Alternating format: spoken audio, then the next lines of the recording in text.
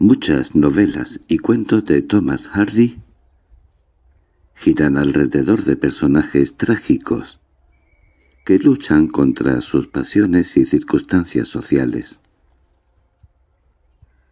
En el cuento El regreso del duque veremos a un noble que le da refugio a un desconocido y que ese desconocido no se comporta como es debido con una de sus hijas.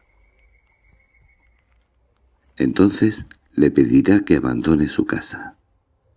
Pero éste tendrá que regresar. Y ahora ya damos comienzo al cuento El regreso del duque. Espero que te guste.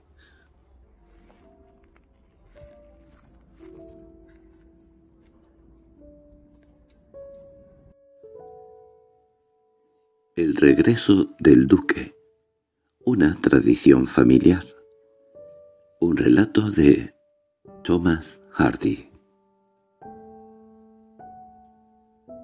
De acuerdo con el pariente que me contó esta historia, la casa de Christopher Sweetman, en las afueras de King's Intock, era en aquellos días más grande y estaba en mejor estado que cuando muchos años después fue adquirida por el hidalgo de la mansión contigua.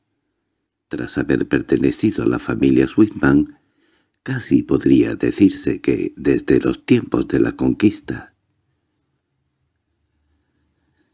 Algunos aseguran que el suceso ocurrió en la casa de enfrente, propiedad de uno de los Child, con cuya familia los Sweetman se emparentaron más tarde mediante sucesivos matrimonios pero que sucedió en la residencia original de los Sweetman puede demostrarse de varias maneras, principalmente por la intacta tradición familiar e indirectamente por las pruebas que ofrecen las propias paredes. Las únicas de los alrededores comparte luces en las ventanas al estilo isabelino, y claramente de una época anterior a los hechos mientras que las de la otra casa pudieron haberse construido cincuenta u ochenta años más tarde, y es probable que así fuera, pues la circunstancia de que el fugitivo eligiera la casa de Sweetman vino dictada sin lugar a dudas por la sola razón de su propicio aislamiento. Era una nublada mañana de julio, antes del alba, y acababan de dar las dos en el reloj de las escaleras de Sweetman, aún se conserva entre las pertenencias familiares. Christopher oyó las campanadas desde su cámara, que se encontraba justo encima de las escaleras, con vistas a la fachada principal. No era extraño que no pudiese dormir. Los rumores y la agitación que últimamente se habían apoderado del vecindario, en el sentido de que el legítimo rey de Inglaterra acababa de llegar de Holanda y había desembarcado en un pueblo situado a tan solo treinta kilómetros al sureste de la casa de Sweetman, era motivo de sobra para quitar el sueño y la tranquilidad incluso a un hombre tan satisfecho como él. Algunos lugareños, intoxicados por las noticias, soltaron sus guadañas y corrieron a alistarse en las filas del invasor. Christopher Swissman, tras sopesar ambos lados de la cuestión, había resuelto quedarse en casa. Y en ese momento, acostado en su cama, mientras pensaba en estas y otras cosas, le pareció oír pasos en el camino que llevaba a su puerta. Una senda recóndita que no conducía a ninguna otra parte. De ahí que unas pisadas fueran capaces de sobresaltar a los ocupantes de la vivienda a cualquier hora, más que si ésta se hallaba al pie de una carretera principal. Los pasos llegaron a la cancela y allí se detuvieron. Pasaron uno o dos minutos sin que el caminante se moviese. Christopher Wisman salió de la cama y abrió la ventana. —¡Eh! ¿Quién anda ahí? —llamó. —Un amigo. —respondió una voz desde la oscuridad. —¿Y qué quiere a estas horas de la noche? —Refugio, me he perdido. —¿Cómo se llama? No hubo respuesta. —¿Es usted uno de los hombres del rey Monmouth? Quien no haga preguntas no recibirá mentiras por respuesta. Soy extranjero, estoy agotado y hambriento. ¿Podría pasar la noche aquí? Sweetman era un hombre generoso con quien se encontraba en apuros y su casa era espaciosa. «Espere un momento. Bajaré de todos modos». Encendió una vela. Se vistió bajo el San Juan y cogió un candil que estaba colgado de un clavo en el pasillo para encenderlo antes de abrir la puerta. La luz iluminó a un hombre alto y moreno, con guarnición de soldado de la caballería y provisto de una espada. Estaba pálido, cansado y cubierto de barro, a pesar de que no había llovido. «Tenga la bondad de no reparar en mi aspecto y permítame entrar», dijo el desconocido. Que el caballero estaba exhausto era indudable, y Sweetman, de natural compasivo, se vio inclinado a socorrerlo en tan penoso trance, persuadido por la voz dulce y educada con que había hablado el desconocido. Sweetman lo acogió en su casa, no sin la sospecha de que aquel hombre representaba de una u otra manera la causa de Monmouth, a la que en su fuero interno él no era del todo hostil. El caballero rogó a su anfitrión que le proporcionara alguna ropa vieja para cambiarse y escondió la suya junto con la espada, en un ropero de la cámara. Hecho esto, Sweetman le sirvió un plato de comida y lo alojó en una estancia de la parte posterior de la casa. El huésped durmió hasta bien entrada la mañana del domingo 6 de julio y se presentó ante la familia con la ropa prestada y una sonrisa melancólica. Vivían allí, además de Sweetman, únicamente sus dos hijas, Grace y Leonard. Este último, por extraño que parezca, es en esta región un nombre de mujer, a quienes su padre había confiado el secreto. No hicieron preguntas ni recibieron información alguna pese a que el desconocido las observaba, hermosas como eran, casi con excesivo interés. Tras compartir con la familia el acostumbrado desayuno a base de jamón y sidra, el caballero alegó cansancio y se retiró a la habitación donde había pasado la noche. Volvió pasadas unas horas cuando las jóvenes habían ido a misa, cuando vio a Christopher trajinando por la casa sin asistencia de nadie, se ofreció a ayudar a su anfitrión. Viendo que el caballero parecía ansioso por ocultar las diferencias y presentarse como uno de los suyos, Sweetman lo mandó al huerto en busca de verduras y a por agua al arroyo, que corría a los pies de la casa, aunque el arroyo, todo hay que decirlo, no pasó a conocerse por ese nombre hasta algunos años más tarde. —¿Hay algo más que pueda hacer? —preguntó el extranjero, cuando hubo cumplido con estos encargos.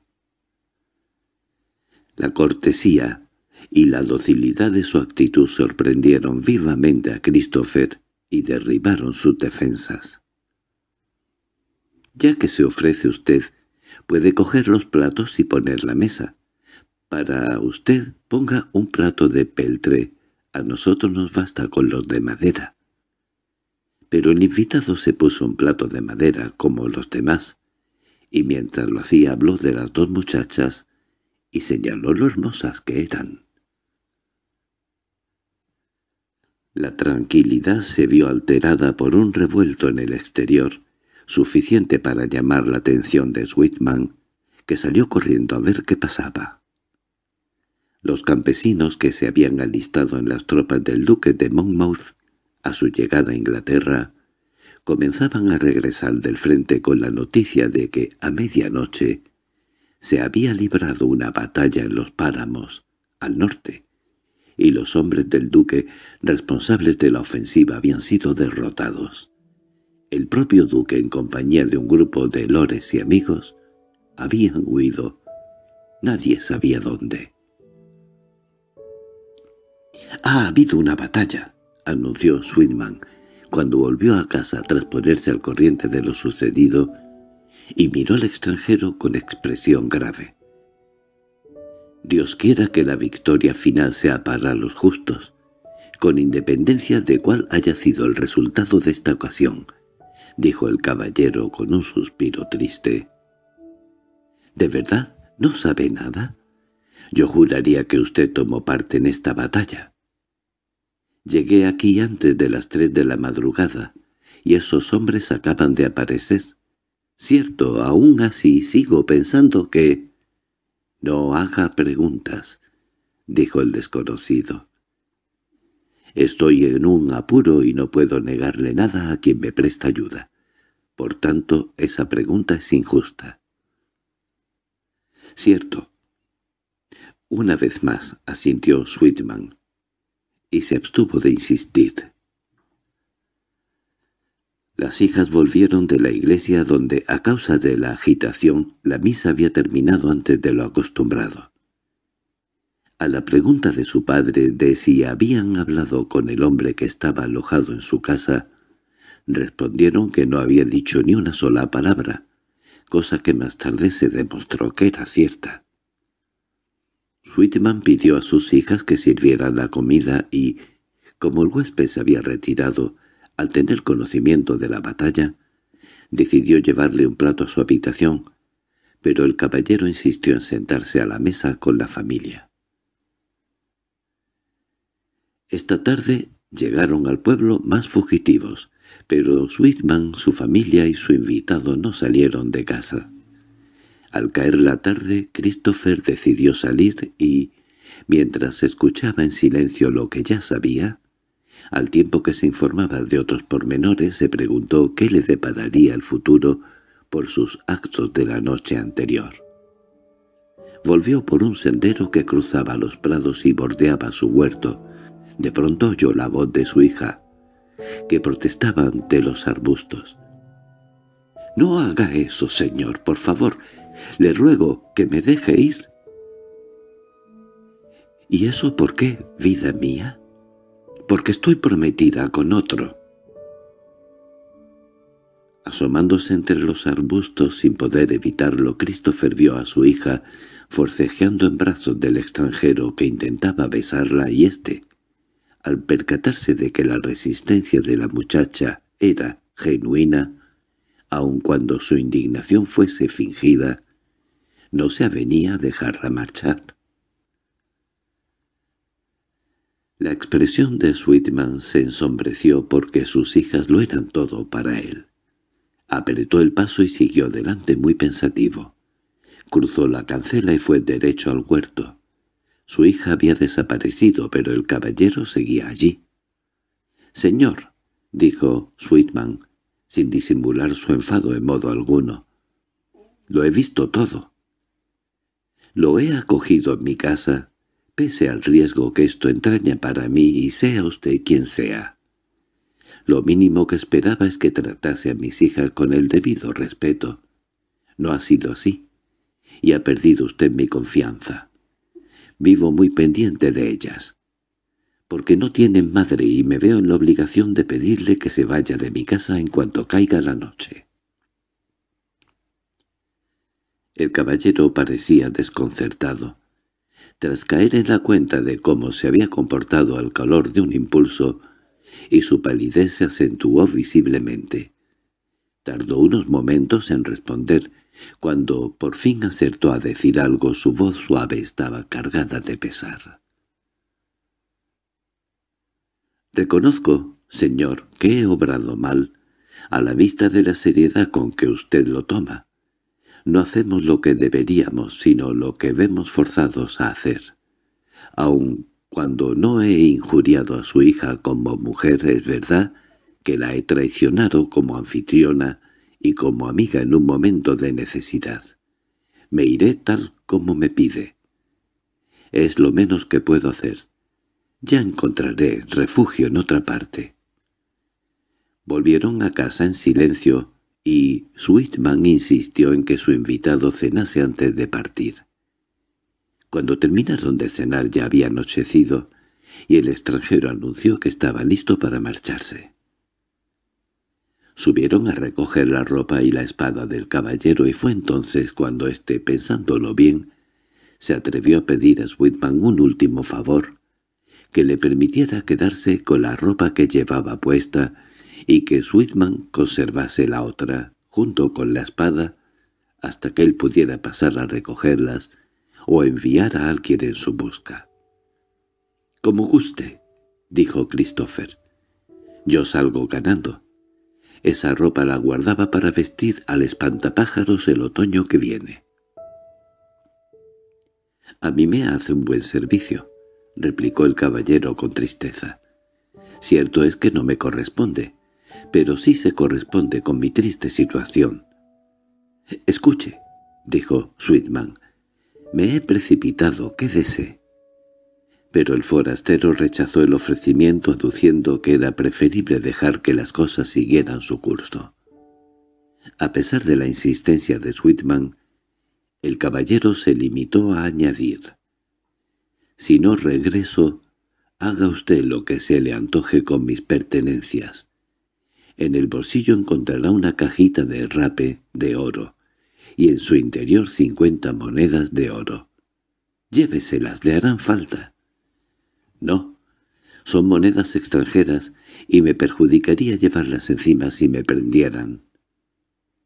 Haga lo que le pido, guarde esas cosas y cuide especialmente mi espada. Perteneció al padre de mi padre y le tengo mucho aprecio, aunque en este momento me conviene algo más corriente. Dicho esto, bajó las escaleras y cogió una de las varas de fresno que usaba su anfitrión cuando salía a pasear.